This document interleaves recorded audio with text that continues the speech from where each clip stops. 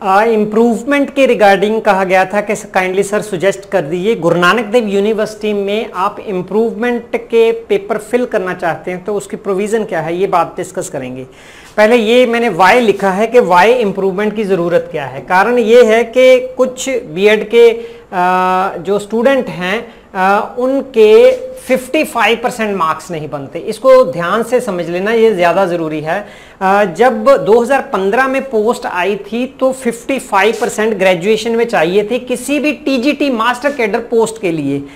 तो जो कांग्रेस ने 2022 में पोस्ट निकाली तो इतनी ज़्यादा रिलैक्स कर दी। ये 40 55 से 45 परसेंट हो गया लेकिन वो कुछ पीरियड के लिए था। तो वो पीरियड अब खत्म हो चुका है। पीरियड खत्म होने के बाद ऑटोमेटिकली अब जो एलिजिबिलिटी है वो पहले वाली आ, सरकार की जो 55 परसेंट फ्रॉम ग्रेजुएशन है ना आपको मार्क्स चाहिए। तो बीएड तो हम कर लेते हैं, अगर 50 परसेंट नहीं है एमए के हैं पोस्ट ग्रेजुएशन के हैं, है ना? तो वो हो जाती है। लेकिन यहाँ पर विदाउट राउंड फिगर के आपके 55 परसेंट बनने चाहिए। ये बात डिफरेंट है कि इसका सिलेक्शन टेस्ट जहाँ मेरिट बनने में फ़ायदा है कि नहीं है। तो वो फ़ायदा तब है जब टाई होता है। अदरवाइज़ इससे पहले सिलेक्शन टेस्ट या टीईटी जहाँ एज आती है, सबसे पीछे ये आते हैं। अब दो बातें हैं। ये है कि वो लोग जिनके 55 से मान लीजिए 45 हैं 50 हैं, जहाँ 49 हैं नेचुरली उनको हर हालत में अगर बीएड उन्होंने कर ली है तो ग्रेजुएशन के स्कोर इंक्रीज करने होंगे। अगर वो जनरल कैटेगरी हैं रिज़र्व कैटेगरी के हैं तो फिर फाइव परसेंट लेस करके उनको करने होंगे। तो उनके लिए गुरु नानक देव यूनिवर्सिटी हर साल अनाउंस करती है कि इम्प्रूवमेंट के पेपर लिए जाएँगे, इस साल लिए जाएँगे। तो मैंने जब बात की कि ये आ, कितने साल बाद स्पेशल चांस गोल्डन चांस होता है तो इन्फॉर्मेशन दे ये दी गई कि ऐसा कुछ नहीं होता कि जब हमने चांस दिया है तब आपको वो परमिशन वीसी से लेके आपको ये फिल करना होगा। तो ये बात दो जनों से मिली, लेकिन कितनी ये सही है? मेरा क्वेश्चन बेसिकली था फ़ीस के रिगार्डिंग उसकी बाद बाद बाद में बात करता हूँ। पहले ये हो गया कि हर हालत में अगर गवर्नमेंट जॉब में जाना है, उसका एलिजिबिलिटी क्राइटेरिया पूरा करने के लिए 55 परसेंट मार्क्स चाहिए। तो दूसरा क्वेश्चन ये पैदा होता है, क्या इंप्रूवमेंट और एडिशनल पेपर के सेम नहीं है? अगर हम एडिशनल पेपर दे दें फॉर एग्ज़ाम्पल ग्रेजुएशन का मैंने हिस्ट्री का एडिशनल पेपर दे दिया और हिस्ट्री में से मैंने 70 परसेंट ले ले और ले गया और पहले मेरे 54 परसेंट मार्क्स थे तो ये करके 55 से प्लस बन गए हैं। ऐसा नहीं है। ये आपके जो पेपर हैं एडिशनल के मार्क्स हैं, ये सिर्फ़ क्वालिफाइंग मार्क्स है कि आपने बेशक 60 लीजिए 70 लीजिए, कोई फ़र्क नहीं पड़ता। आपने क्वालिफाई करना है एग्ज़ाम के, आप एलिजिबल हो गए हो। जब आपकी मेरिट अगर बननी है, उसकी वेटेज अगर कंसिडर की जाती है तो वो आपके ग्रेजुएशन की होनी है। दो बातें हैं। एक तो है कि 55 मिनिमम क्वालिफाइंग मार्क्स है, वो करना ज़रूरी है। हाँ मेरिट में आने के लिए कि 55 से मैं ज़्यादा ले लूँ, उसका फ़ायदा किसी केस में हो सकता है। कारण यह है, पहले बता के आया हूँ कि पहले सिलेक्शन टेस्ट फिर टीईटी e उसके बाद एज अगर ये सारा कुछ मैच कर देता है, आपका टाई कर जाता है ना? डेट ऑफ़ बर्थ भी मैच करगी, फिर वो आपके ग्रेजुएशन के मार्क्स देखेंगे। तो यहाँ पर भी होया, क्या हुआ कि एडिशनल एक डिफरेंट कंसेप्ट है वो देना, वो आपने गवर्नमेंट जॉब के लिए एलिजिबिलिटी बनाना है, कोई को सब्जेक्ट कम इलेक्टिव पढ़ा है तीन साल के नहीं नहीं पड़ा तो वो करना है। तो यहाँ पर इम्प्रूवमेंट है। दूसरी बात अब इम्प्रूवमेंट के लिए क्या सारे पेपर देने होते हैं? एक पेपर देना होता है।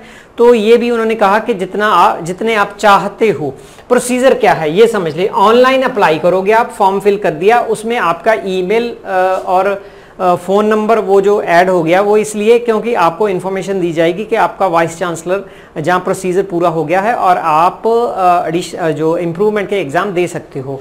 इसको दो एरो मैंने ऐसे क्यों बनाए हैं? फ़र्स्ट है कि परमिशन फ्रॉम वाइस चांसलर उससे परमिशन लेने के लिए जो आप पहला फॉर्म फिल ऑनलाइन करते हो, वहाँ विज़िट नहीं करते, उसकी फ़ीस पच्चीस हज़ार है। ज़ोर का झटका, थोड़ा धीरे से लग रहा है। पच्चीस हज़ार है। This is the amount and important amount तो आपको यहाँ तक जाना है, ये पे करने होंगे। इसके अलावा एग्ज़ाम फ़ीस होगी, वो एग्ज़ाम फ़ीस अब कितने एग्ज़ाम देते हो उसके मुताबिक है, लेकिन उन्होंने कहा कि तीस हज़ार के करीब खर्चा आ जाता है। ये जैसे मेरे से वर्ड बोलेगे, वैसे मैं आप बता रहा हूँ, मैंने कितने ढंग से क्वेश्चन पूछे हैं। और इन्फॉर्मेशन ऐड होगी, इस वीडियो में कमेंट या वो क्वेश्चन कर देना, मैं ऐड ऑन भी कर दूँगा।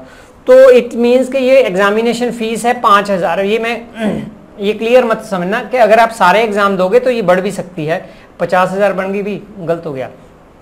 तो ये खर्चा आपका आएगा। ये आने के बाद आप एग्जामिनेशन फॉर्म फिल करोगे फिर ऑनलाइन और फिल फिल करने के बाद आपका जो भी एग्ज़ाम है होते हैं, जो डेट शीट नॉर्मल है अगर इम्प्रूवमेंट की है तो वो उसके हिसाब से आप एग्ज़ाम देते हो। इसके अलावा और कोई क्वेश्चन है? नंबर ऑफ़ पेपर कितने भी दे सकते हो ना? ज़्यादा दोगे तो इम्प्रूवमेंट के चांस ज़्यादा है। प्रैक्टिकल सब्जेक्ट के लिए क्लैरिटी नहीं थी। एक शख्स ने तो ये कहा कि आपको कॉलेज से ये इंपॉर्टेंट है। जैसे साइंस है जोग्राफी है प्रैक्टिकल सब्जेक्ट जिसमें होता है। कॉलेज में एडमिशन लेके आपको कॉलेज का 75 परसेंट लेक्चर इन्होंने अटेंड किए हैं, ये सर्टिफिकेट लेना पड़ता है प्लस प्रैक्टिकल का।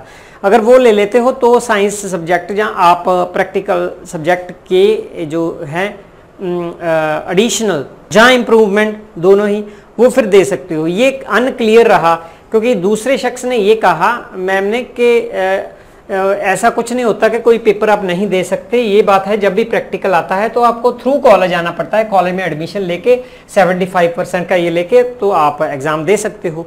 तो दूसरे शख्स ने कहा कि ये थोड़ा फिजिबल है, क्योंकि प्रैक्टिकल के एग्ज़ाम नॉर्मली नहीं बच्चे दे रहे।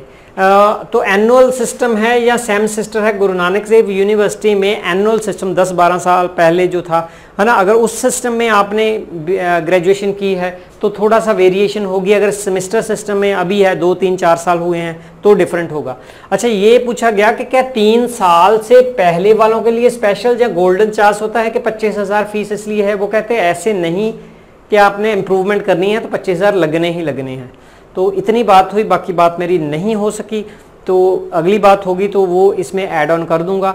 आ, ये द मोस्ट इंपॉर्टेंट है कि हर साल इम्प्रूवमेंट के लिए अलाउ करना होता है। जो भी इनका जो वाइस चांसलर ने अलाउ करना होता है इस साल इम्प्रूवमेंट के लिए जाएँगे। इस साल 2023 को ये फॉर्म फिल किए जा रहे हैं ये बात इंपॉर्टेंट है। नेक्स्ट ईयर होंगे नहीं होंगे कितने साल बाद होंगे ये अलग बात है। जिन्होंने इम्प्रूवमेंट करने हैं वो इस वीडियो को बाकी अपने आप समझ के इंक्वायरी सेल का नंबर नीचे दे दूँगा। आप सीधे ही बात कर सकते हैं वहाँ पर, है ना? तो मेरे को भी क्वेश्चन पूछ सकते हैं। अगर मैं कोशिश करूँगा तो शायद मुझे भी इन्फॉर्मेशन मिल जाए। हम थोड़ा ये होता है कि हम सीधा कहते हैं कि हम ये अथॉरिटी बोल रहे हैं ना? तो टीचिंग कम्युनिटी का वो रिस्पेक्ट होती है तो वो इन्फॉर्मेशन ज़्यादा और क्लैरिटी से दे देते हैं। दैट इज़ वाई आप सीधा भी पूछ सकते हो। Thank you